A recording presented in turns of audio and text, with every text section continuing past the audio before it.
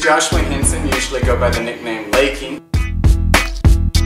I do art and poetry.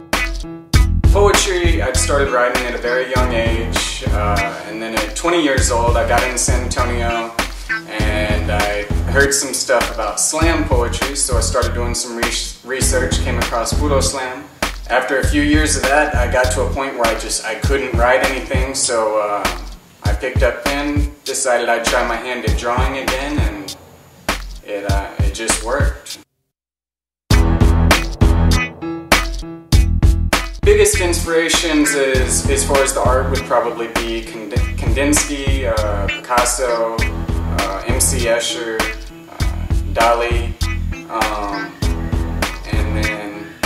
as far as the poetry goes, probably uh, like the likes of Bob Dylan, Tom Waits,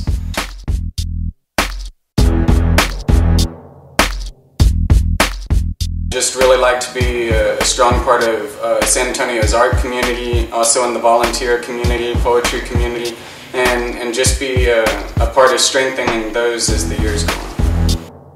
We between a rock and